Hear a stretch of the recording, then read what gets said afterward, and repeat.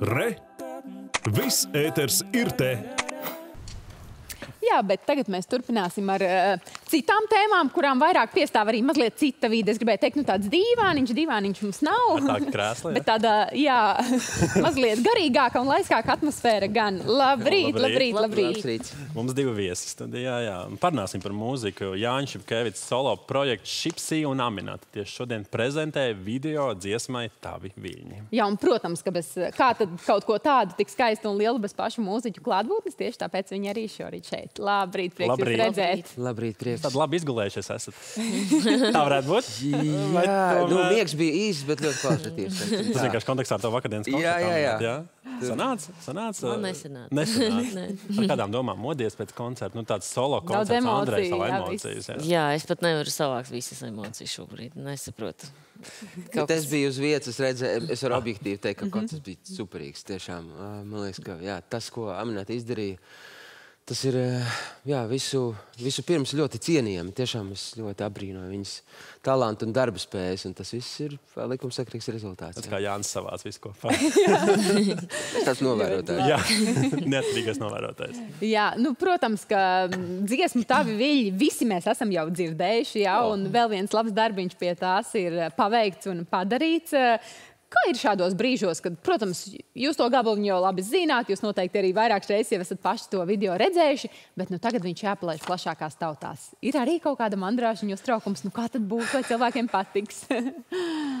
Nu, patiesībā, sakot, Aminēta pirmkārt nav redzējusi šo video. Nopietni! Jā, Ja tā kā mēs mums, mums būs autentiska pieredze. Jā. Ok. Eh, Dziesmu mēs esam dziedājuši jau vairāk kārt, un es tiešām es braucot šurp domāju par to, kā ir šo dziesmu dziedāt. Un nav daudz, patiesībā sakot, mūzikas pieredžu, kurās es tiešām justos, ka tur ir kaut kas ļoti, ļoti pa īstam. Un, un tas sanāk viegli un, un tāpat laikā ļoti tā stihiski. Eh, Un, jā, tā ir brīnišķīga kombinācija, kā tas viss ir salicies kopā. Es esmu priecīgs. Labi, Aminēta nav redzējusi, bet kā tad ir dziedāt šo dziesmu kopā ar Jāni, šī sadarbība? Manuprāt, dziesma ir ļoti, ļoti skaista. Un pat, eh, pat pats pirmais demo un uh, um, nu, teksts, kad man Jānis atsūtīja, es uzreiz uh, uzrakstīju, ka man ļoti patīk šī dziesma. Un es tiešām ar lielu prieku to mm, esmu gatava izpildīt. Un, jā, prieks, ka tā dziesma tagad būs, eh, tagad dzīvos arī video klipā. Un, eh, nu, tiešām, tiešām prieks par padarītu darbiņu un nevar sagaidīt. Gribas redzēt to video. Kad ieraudzīt, kā, kāds Jā. tas video ir sanācis. Jā, jā nu, Aminēta, tev tā tad solo koncerts aiz muguras. Jānis šog, šo- šovasar viesojas eh, prātvētras eh, koncertos, vai ne? Brīnišķīgi ie, iesilda jāatklāt. ieskaņo to visu. Tas taču jau viss notiek. Labi, Sigulda. Tas jau viss notiek. Bet skaidrs, ka tev droši vien tāds liels notikums, uz kuru, arī visas domas eh, 30. un 31. augusts eh, Dailas teātris. Eh, Jā, nu, ka, kāda noskaņa tevi virza uz šo pasākumu? Kompozīcijas arī, gribu teikt, daudz droši vien ā, tavas mūzikas cienītāji jau zina, bet tomēr vienmēr kaut kāda intriga paliek. Nu, Man tas ir grandios no- notikums. Es tiešām domāju, ka manos teju eh, 40, kas arī kaut kādā mērā es tā vēlos to ierāmēt. eh, Ceļš ir no, viens, viens ceļa posms ir noiets, un tur tiešām būs iekšā viss, kas man ir svarīgs. Un pirmajā daļā jaunais albums, otrajā daļā nu, no. no Grupas kosmos atkal savienošanās līdz instrumentiem un, un dažādiem zināms pārsteigumiem. punkts. Jā, un arī Aminēta tur būs, un, un Uga, visi, kas piedalījās albumā. Un, nu, jā, tas ir tāds mans, uh, es milzīgi gaidu to notikumu. Mūža darbs izklausās, vai ne?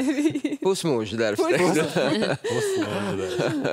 Trešdaļa mūža darbs. Jā. Kas to zina? Kā? Jā, nu Cik ilgi mēs nākotnē? Tieši tā, nu, es 120 plānoju, kā atkal savākties. Bet jūs tad arī, es saprotu, tā esat skaisti apņēmušies tiešām, eh, ja iespējas ļauj būt klāt viens otrā koncertos un arī tiešām eh, klātienē. Absolūti, jā, kaut kā arī tā labi tas sanāk. Ja jo- viens otru uzaicina uz koncertiem, zin kā, nu, Jā, vakar bija Aminētas koncerts, mēs nodziedājām. Šodien mēs izstāstām šo ziņu. Tālāk Aminēta dodas jau uz tālām zemēm, eh, gandrīz uz mēnesi, un tad tieši uz koncertiem arī iesakā viņu gaida atpakaļ. tā. Kas ir tās pat tālās zemes, tur koncertūra, koncerti? Nē, nē, nē, man ir atvaļinājums. Atvaļinājums. Ārpus cik jauki, brīnišķīgi arī mūsu Nopelnīts atvaļinājums, Jā, nav šaubu.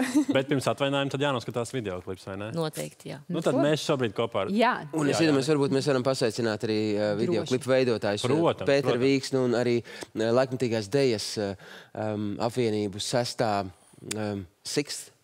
Sestā maņa, vai jā, uh, katrā ziņā, jā, un horeogrāfija Jānis Jācuko un uh, Marģers Ozols. Paldies viņiem. Tur ir tiešām tāda cilvēku, cilvēku ūdeņi un cilvēku jūras tur plosās, jūs redzēsiet. Un Hanzas Peronam, kur tas viss arī Nu, tā. tad skatāmies. tas brīdis ir klāts. Skatāmies kopā. Pirmizrāde.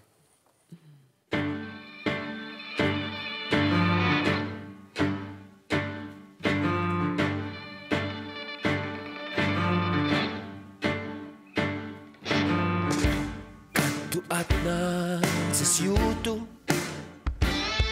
tik pēkšņi un tik krasi, griežas citādāks visā asi. Kad tu atnāc, es esmu. Viss tā aizvien tu kusties, liec man bezgalīgi tu justies. Tu iešūpo manī to stīgu. Tu smaidi, čalo un smejies. Tu visu laiku pāri man lejies.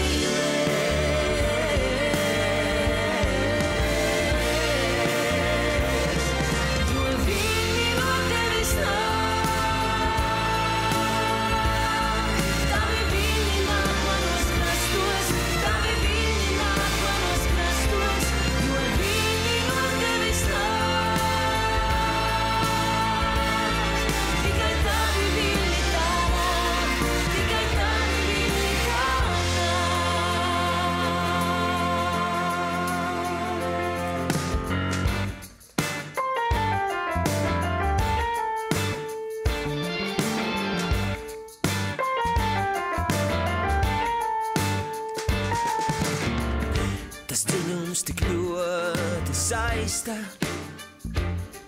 Kad skaties, tu mani cieši, it kā tur tos caur mani pieši.